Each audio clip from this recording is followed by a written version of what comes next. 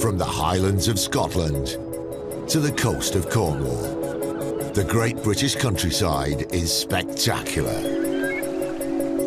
But we work and play in it at our peril.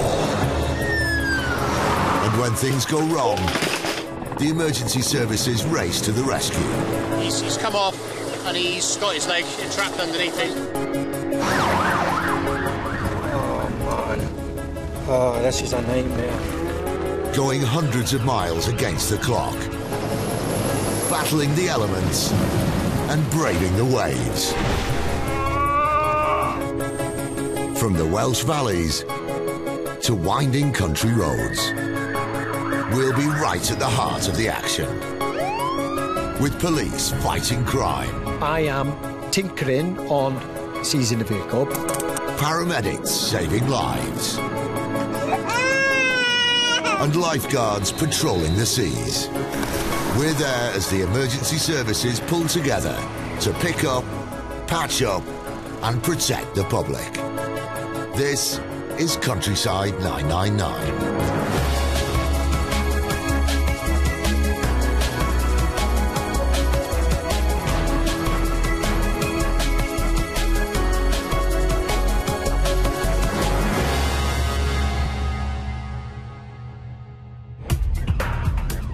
Coming up, a crash on the Welsh roads leaves a motorcyclist seriously injured. It appears that he's gone into the back of the trailer. Fell through the air and landed pretty much like this, but face down. The air ambulance raced to a six-month-old baby who stopped breathing. Basically, what we're going to is um, it's been given as a six-month-old uh, cardiac arrest on a beach uh, in North Cornwall, Newcold's End. And a Cornish fisherman hooks a surprise catch. Drinder's going to do the cutting. I'm going to do the pushing through.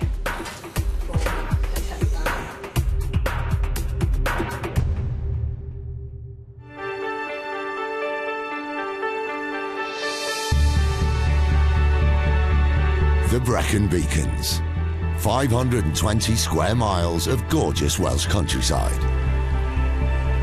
These breathtaking views are home to 32,000 people and welcome more than 4 million visitors every year. And protecting them is the Dyfed Powys Police,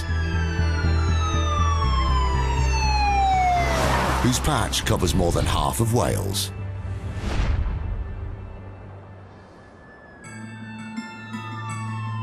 PC Gareth Evans is blue lighting to a serious road traffic collision, or RTC.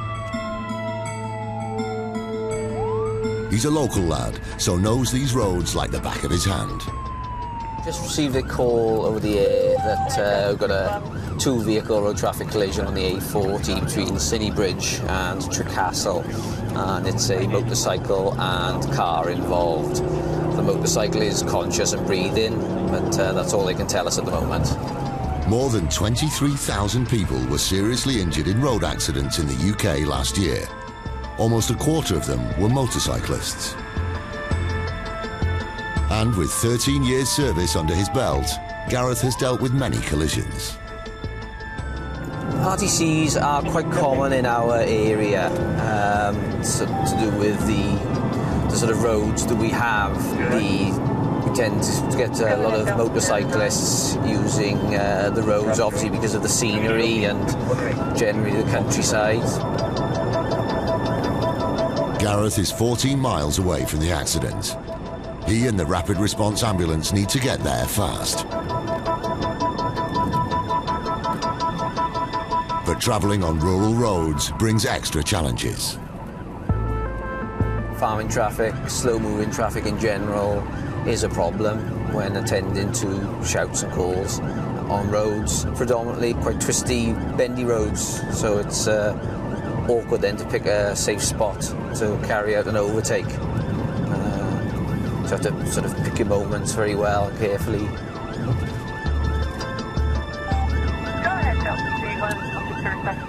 The accident has blocked the road, and heavy traffic is already building up.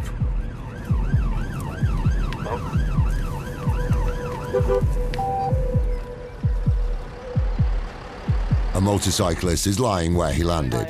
Aye, aye, all. He's in a critical state. Oh, excellent. I love people passing like that. How was the gent? It appears that he's gone into the back of the trailer. Right, okay. Over there. And literally just came, Yeah, fell, top. fell through the air and landed pretty Right. much like this, but face down. Yeah. Right. When I got to him, Right. didn't see what happened. When I got to him, he was semi-conscious. Yeah. German holidaymaker Jürgen crashed into the back of a trailer after it braked to avoid a cyclist. Gareth makes the road safe while paramedics check Jürgen's injuries. and I'll. Semi-conscious, pretty much unconscious, literally. Want a hand just let us know we'll start We, we can we can Yeah, well, just. if you. Um, yeah, if you just give it, well, yeah, if we give it five minutes while the paramedic is dealing with them, and then when she's happy or whatever, she's ready to move him, then we'll we'll leave traffic on a stop at the moment. Yeah, leave traffic on. Yeah. Yeah. Luckily, passing soldiers from a local training camp are on hand to help with the growing tailback. Lovely job, excellent. Thanks very much for your help. Cheers.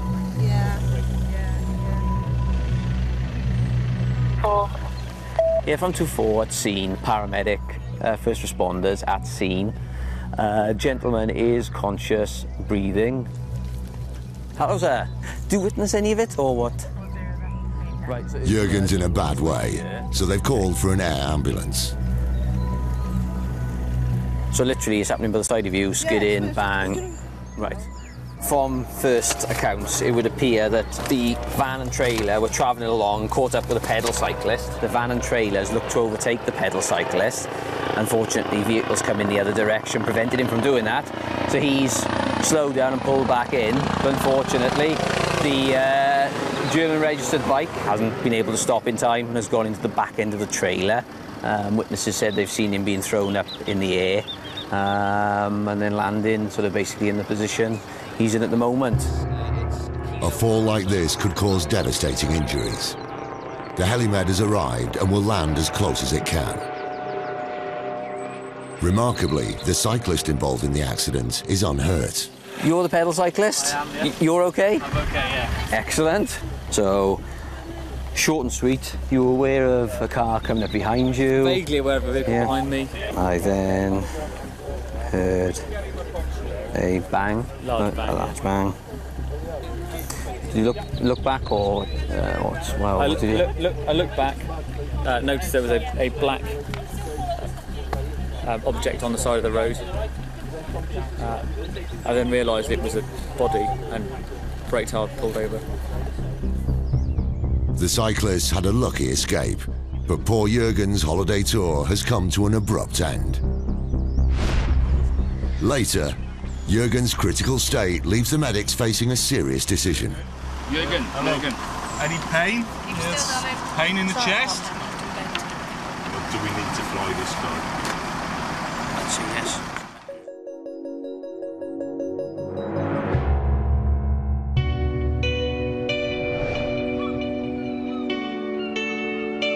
Like the Brecon Beacons, Cornwall is a holiday hotspot, with millions of visitors joining locals in the sun, sand and surf. Boasting a dramatic coastline that spans nearly 300 miles, the county is home to over 100 stunning beaches. But busy beaches mean more accidents and emergencies.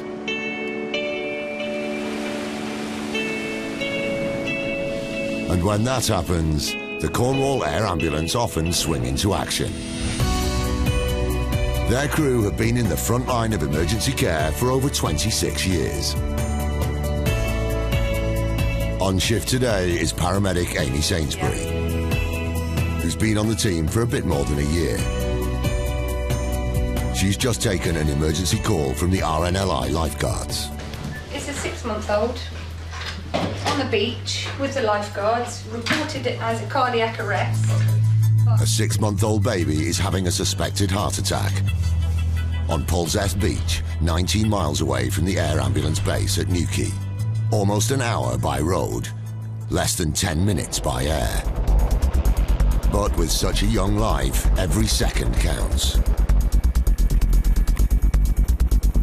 On board is pilot Mark Woodward and paramedic Mark Fozzard, who's just had an update from the ground.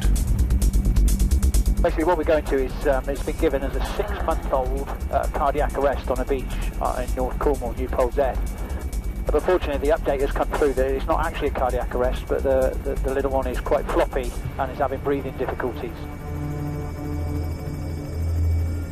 When we get calls to children, uh, there is an added stress value, uh, uh, um, and it does distress the crew uh, a little more than a normal call would do to think that, that there is a child in trouble.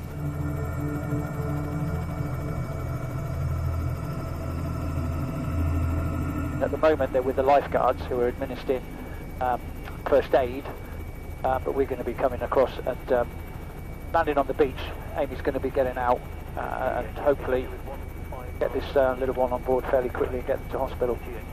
Our patient was given mouth to mouth uh, when she stopped breathing. Uh, the RRV had three minutes to run. The baby's condition could be life-threatening. As well as the helimed, a rapid response vehicle, or RRV, is racing to the beach.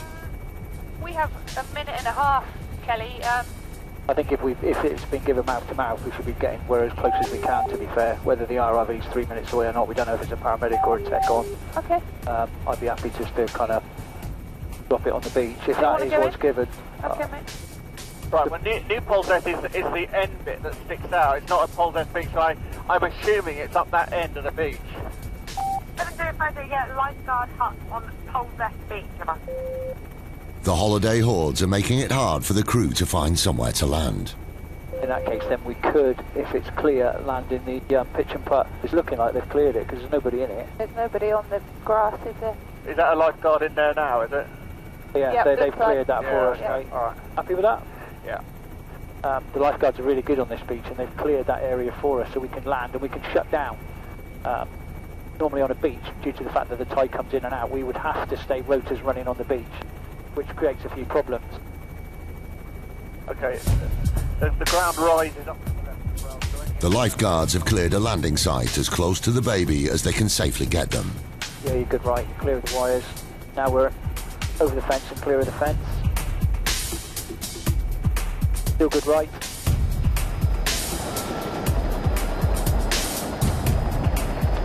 What do you want to take with you, Ames? I'll take, take the big bag, please. Amy's bag includes a special kit for treating babies and children.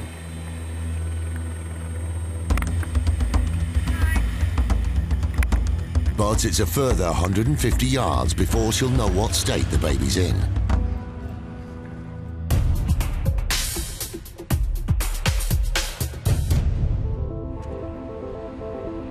Dyfed Powys in Wales.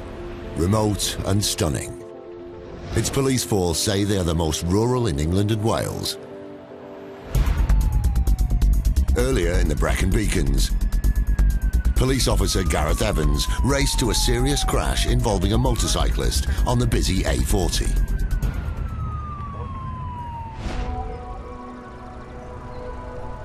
Jurgen is in a bad way after being thrown over the handlebars of his bike. Traffic is at a standstill. Jurgen is being treated by a highly skilled medical team who need space and time to assess his injuries.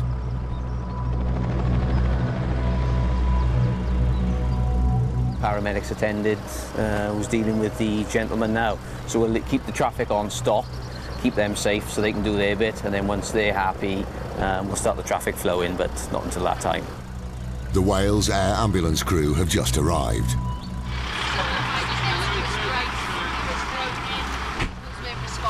No verbal. No movement, no verbal. Couldn't understand us. Um, had some groaning, and then his pupils started reacting. The medical team tried to work out just how badly Jurgen's hurt. As the only officer at the scene, Gareth's got his work cut out for him. First thing to ascertain is to find out exactly uh, how many injured. Next task is to find out what happened at the collision and why the collision occurred. I spoke to the van driver uh, at the scene and went through the sort of protocols, as in the breath test.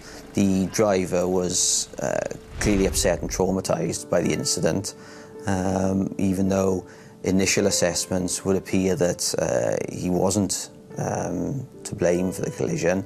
Uh, he was clearly upset by what had happened and the state that the motorcyclist was in. I think what we'll probably try and do is put him on the scoop and then we'll put him onto our vacuum mattress and put him on that. Jurgen is drifting in and out of consciousness, and the team are struggling to get a response from him. Is anyone flaps to help yeah. But no one knows if he speaks English. It's very, very difficult because when you're asking him, he doesn't understand. Doesn't understand. Jürgen, Jürgen, Jürgen. Jürgen, sorry. Any pain? Pain in the chest?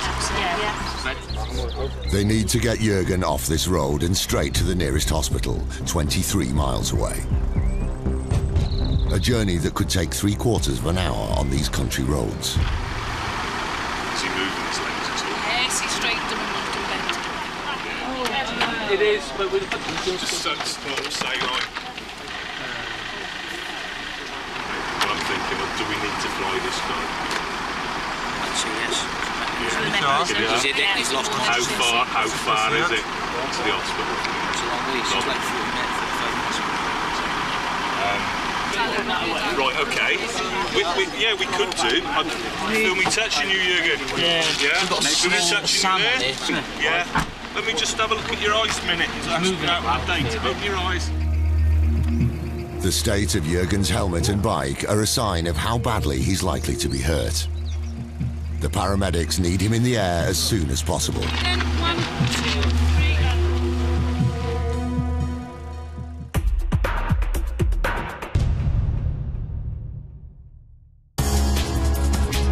three. Later, Jurgen's confusion causes concern. Tell me where the pain is. Yeah, five seven. Um, You don't know. Obviously, it is demonstrating signs of concussion. A local man's hobby gets him hooked.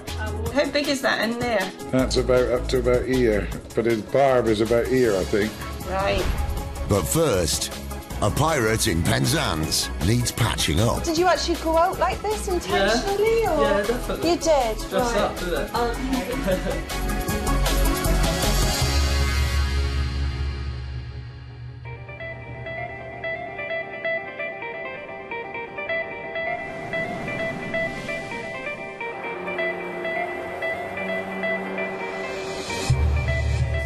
It's August, and Cornwall's summer season is in full swing.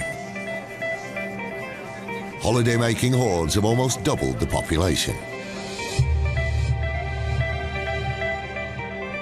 More people means more pressure on staff at the urgent care centre in Penzance. The team here are specially trained in emergency medicine, So I think you've been extraordinarily lucky. Yeah. Treating everything from broken bones to cuts and scrapes. Let me know when it hurts. Oh, I'm so oh. sorry. Yeah, that hurt.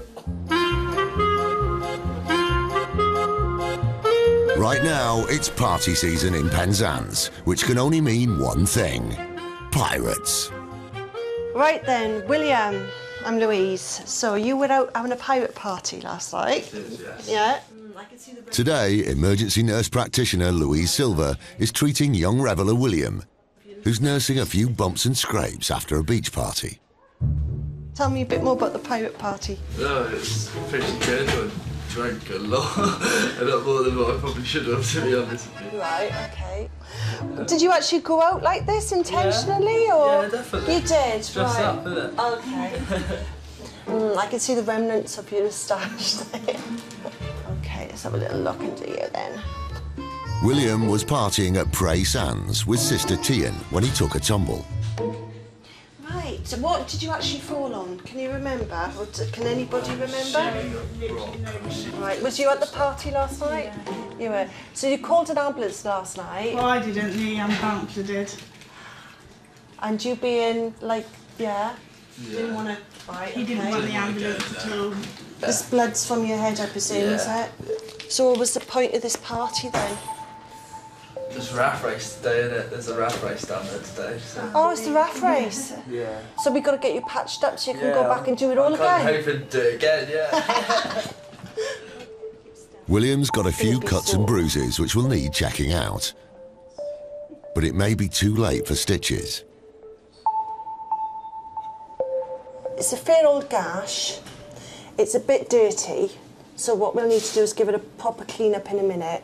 We Right. can't close it now because it's been quite a while since you did it. Right. So it's actually old wound. So what we'll have to do is just give it a good clean up and probably just leave it open. Right. I don't think it'll scar. It'll be fine. It's all a bit of a blur for William, so Louise wants to check for signs of concussion. Can feel me touch you? Yeah. Yeah, feel me touch. Okay. I want you to just watch my pen.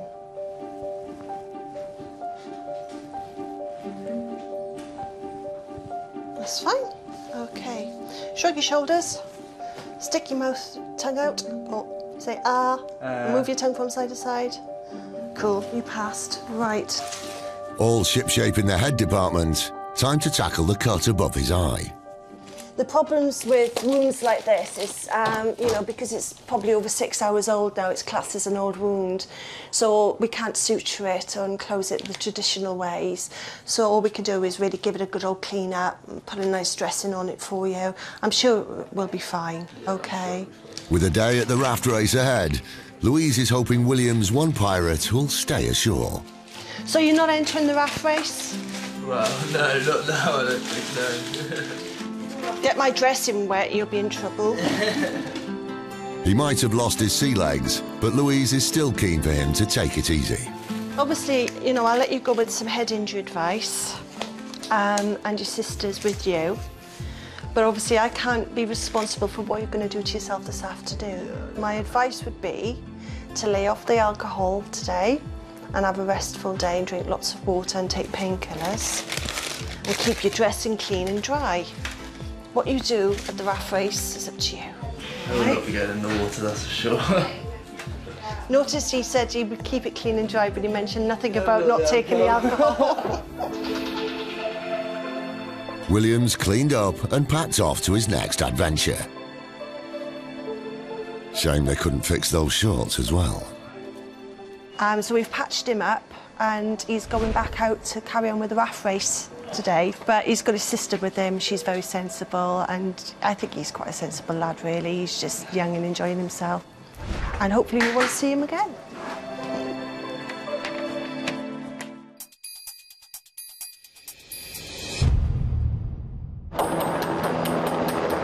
Earlier in Cornwall, the air ambulance crew raced to Polzeath Beach after a call about a six-month-old baby who briefly stopped breathing. I think if, we, if it's been given mouth to mouth, we should be getting we're as close as we can, to be fair.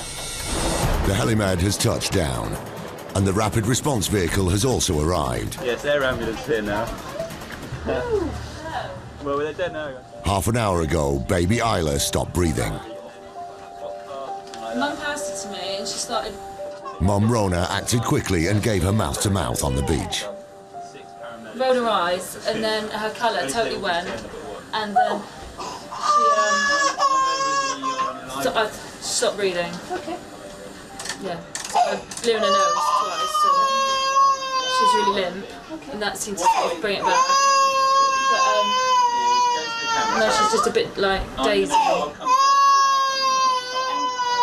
Six months. Can I just listen to the chest while you got her after that? Is okay? Yeah. So- For once, it's a relief to hear Isla crying. But until they know what caused her to stop breathing, they can't take any chances. So I think because you, you have been at the point of, of actually blowing into her nose, Yeah. I think we will we'll run down to the hospital. Yeah. Okay, and that'll be down to Truro. Are you local? Um well I've got a caravan here. We've come in the air ambulance, Yeah. and purely because of how far it is down to the hospital. Are you happy to, to come in there? Yeah. So we'll, what we'll do is we'll just, if you're ready, we'll take a gentle stroll. Yeah. It's kind of five minutes down the road. Yes. So that Isla can be checked over as soon as possible. They'll be airlifted to the nearest hospital, 23 miles away. Mom Rona's still in her beach clothes, but it's the last thing on her mind. She'll travel in the helicopter with her baby on her knee. But Isla doesn't seem too keen.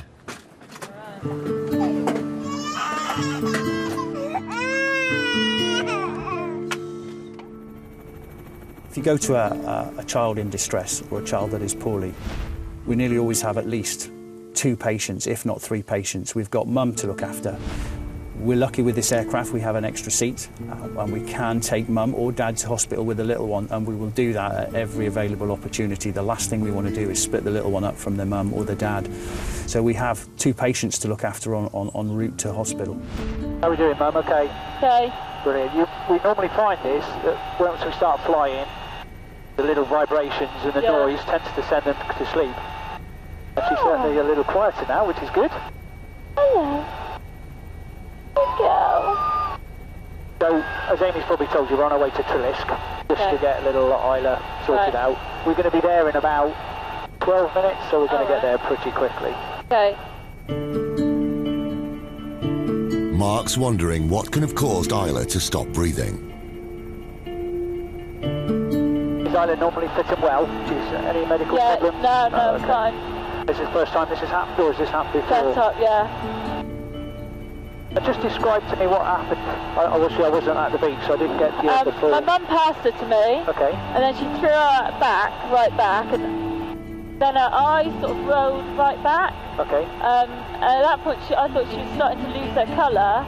Uh-huh. And then she just seemed to like stop breathing, and um, then she, her body sort of went a bit floppy. Okay.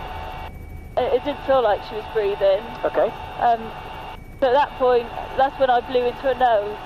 Right. And then what happened after that? Did she did she Then, and I held her close to me and lifted her up, and then it, she sort of started to come round a little bit. Did the colour come back fairly quickly Um, after that? yeah, then it, it's, uh, colour slowly came back then, yeah. Okay. It's been a terrifying experience for Mum Rona, but her quick thinking on the beach could have saved her baby's life. She's got a respiratory rate of 40, 40. No, no signs of any recession. No look at her chest. But um, she's looking around. She's quite interactive with Mum now. Real. Fairly quiet. Five minutes.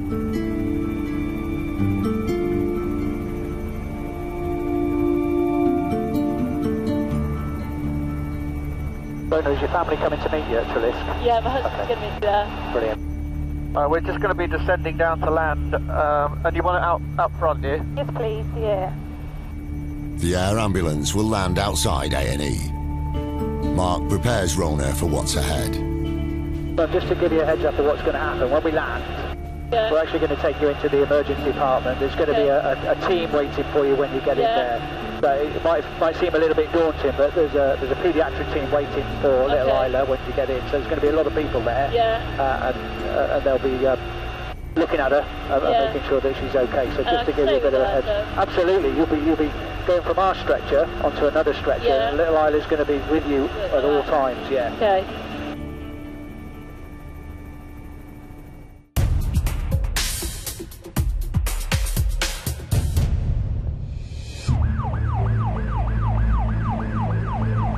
Crash in the Brecon Beacons has left motorcyclist Jurgen seriously injured. Paramedics and the Wales Air Ambulance team have been treating him by the side of the road. PC Gareth Evans has been managing the scene of the crash. So literally it's happening by the side of you, skid in, bang. Jurgen needs urgent medical attention. The nearest hospital is 23 miles away, and getting there by road will be slow. You calling? One, two, three. Don't move your By air ambulance, it'll take less than 10 minutes. Jurgen is conscious and starting to respond to the medics. Right, let's reassess, reassess. Yeah. Any pain here? No. Matter, pain only on the left, Okay. on the left hand. Anything there? No. No. Breathe away again. No pain. No pain. No pain. No pain. No pain. No pain. Only on my wrist. left arm. Right, right, right wrist as well. Both, left and right. The left, left, the right, left.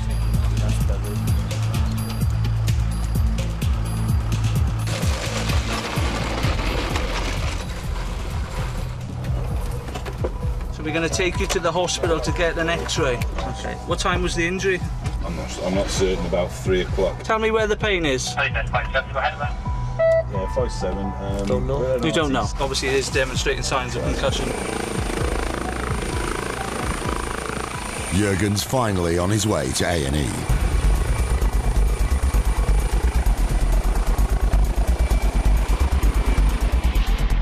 The road's been closed for over an hour. Now Gareth can get on with clearing up the chaos.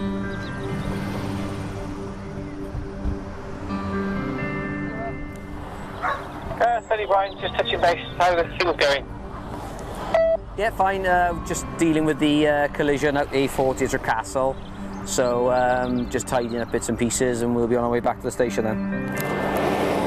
Yeah, thank you very much for today. The police allow the backlog of traffic to clear. But before the road can be fully opened, Gareth needs to do some detective work.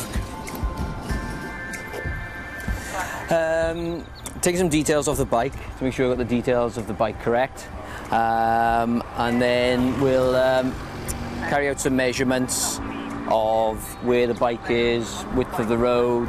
Um, there's a mark there that was created when motorcyclers uh, obviously hit the brakes, so we'll measure that as well. This is what we call a fixed point, so it's a permanent object which uh, hopefully isn't going to move. And then we'll measure from that to two points on the vehicle, just so if we need to position it back there in the future, we can. I think it perhaps looked a lot worse than it was because of the way that the motorcycle has hit the rear of the trailer. It's hit quite a sort of sharp edge at the back of the trailer, which in turn has cut the tyre, sliced the wheel. Um, quite a big, powerful bike. So even though the evidence at the scene would suggest the speed was fairly low, it's still done quite a bit of damage. But the clothing that he was wearing um, possibly saved him for a lot more serious injuries than what he ended up with. I don't think anything can really prepare you for dealing with the more serious um, RTCs, even to the point the sort of fatal road traffic collisions that we have. Um, deeply upsetting as they are, um, it, it, does sound a bit callous, but you, you've got to switch off and sort of do the best that you can for the families that may be involved um, to sort of help and support them and ultimately find out exactly what happened and how um, you know collisions occur and how serious injuries and in certain circumstances deaths occur.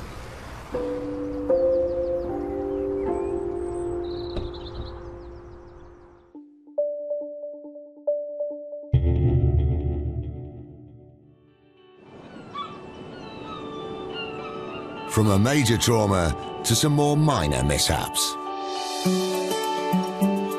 Back at the Urgent Care Centre in Penzance, the team have landed an interesting catch. Local fishing fanatic Graham has got himself into a spot of bother. Graham, my name's Debbie. Yeah. Hiya. Let's have a look then. Don't move it too much. I won't. What time did this happen at? About two and a half hours ago. Oh, golly. Took me that long to get back How, from. how big is that in there? That's about up to about here, but his barb is about here, I think. Right. Have you taken any painkillers? No. Would you like some? No, no, no. Just No. like to have it cut out. Okay, right. Bear with me and I'll Can get they it deaden it, can they? Yes, I'm sure we can. Graham was out fishing off the coast of Penzance with a friend when he snagged his own finger with a fish hook. Did you catch any fish? Got three or four, yeah. Did What were you catching? Uh, got a cod and a, about three pollock, I think. All right. Is that your job or just a hobby? Just a hobby. It's right in, isn't it? Yeah, they went right in that time. My mate said he wanted to pull it out, so you had. Oh. So, Underneath the floppy rubber fish bait, there's a nasty hook barb, and it's got right under Graham's skin. sit up there, pop your feet up. Meanwhile, fisherman's friend Ian turns up with some kind words of sympathy. That'll teach you. You can learn a lesson from that. Then. Yeah. I have to listen to you more often. The worst things happen at sea, and they always seem to happen to him, don't they? always him. Fish out there. I'm glad it's sore though. You're glad it's All the things you do to me when we go fishing. Just trying to tie it onto the line, actually, which and it just slipped and That's it. Like my finger slipped as I went to cut the cord, and next thing is straight in the finger. Getting the hook out is going to be tricky. Nurse Marie McLaren arrives to help. So I'm going to pop some local anaesthetic in and deaden it for a couple of minutes. Then we need to push it through, clip it, and then pull it back. You do what you like once it's dead. Make sure it's dead, for God's sake. I'm going to give it a clean Yeah, it might be a before, bit diesely. before we put the injection in. How long has it been in there for? Oh, getting on about three hours now. Oh, really? You're getting to be a good friend of mine. They're going to have to push the barb through before they can pull it out. Ouch. All right, so I'm just going to pop it in Right. over this side. Sharp jab. Ah. Sorry. Marie's given Graham something called a digital ring block, an anaesthetic that should numb his entire finger. Did you see it bend once you put it in? What, the needle? Yeah. No. It's great. That hurt. That'll be a good lure from now on. Now you've got a bit of blood on the hook. yeah, it will for that. I can't get on get sharks with that now. Yeah, too right. I'm going to get some more uh, local anaesthetic. I'm just going to anaesthetise the site, the exit site, so that when we're pushing the uh, fish hook through, it'll be more comfortable. The good thing about fish hooks, they don't tend to cause any problems afterwards, despite the fact, you know, you've got to create another hole in the patient. Angle grinder coming. Oh, Christ! There's a nut cutter. There's a nut cutter. Looks like this is a two-nurse job. Graham's starting to look nervous. Drinder's going to do the cutting. I'm going to do the pushing through. Brace yourself, mate. Some people respond to the ring block, uh, the digital nerve block, um, straight away, and they're absolutely fine. Other people need just a little bit more local anaesthetic from the exit site. Depends also on the size of the fish hook. Um, you know what we're pulling through because they can be range from that's actually quite small. Some of them are really quite huge, and I do believe the fire engines have had to, the firemen have had to come in and remove a couple. Graham's fishhook might not be a job for the fire brigade, but it's going to need a bit of nurse power.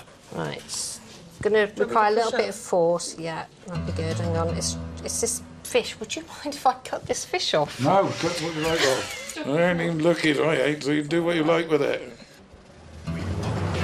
Marie pushes the barb up through the skin. Nearly there. Ah, well done. Oh, that's quite a barb, isn't it? Yeah. Well done. Well done. Is it out? Yeah, all done. on.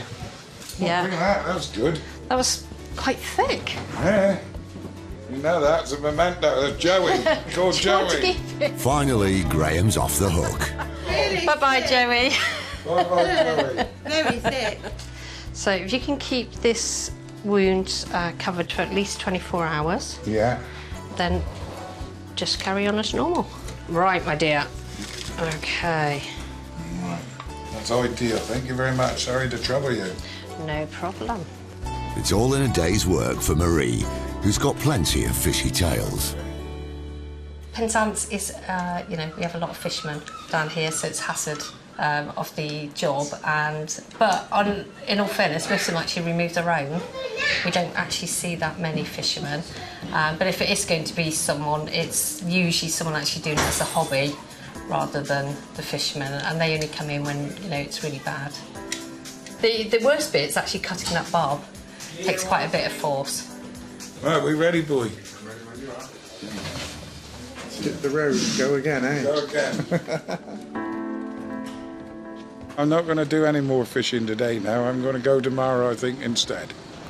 It's a bit getting on a bit late now, so when we get the boat sorted out and put back, you know, call it a day. Have a pint of beer instead.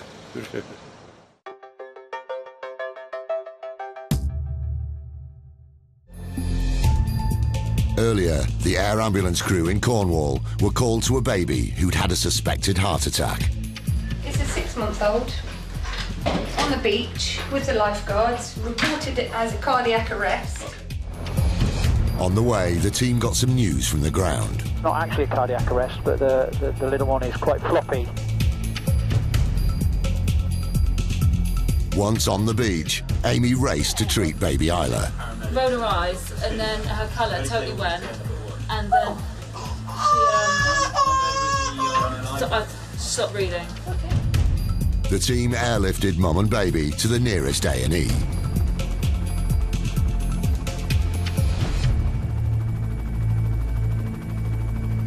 Baby Isla will be treated at the Royal Cornwall Hospital in Truro, the county's only accident and emergency department. How are we doing, ma'am? All right? Yeah. The hospital has a specialist paediatric emergency team waiting for Isla to arrive. They'll get to the bottom of why she stopped breathing.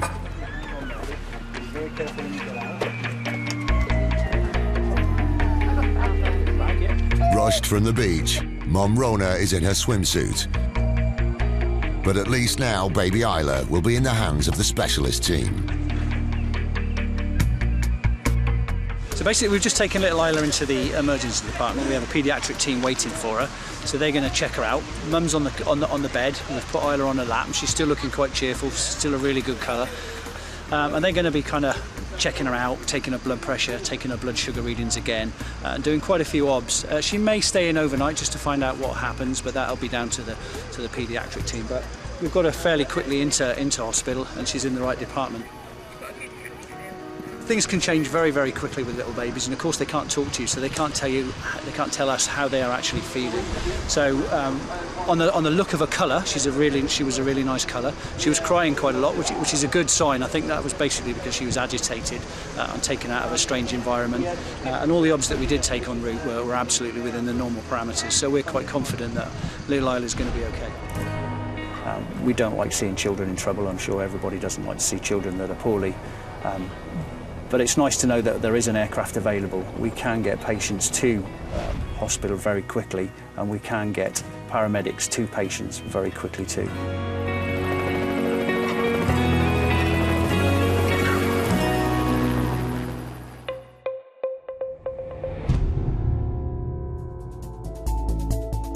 It's been all go for the emergency services in rural Britain.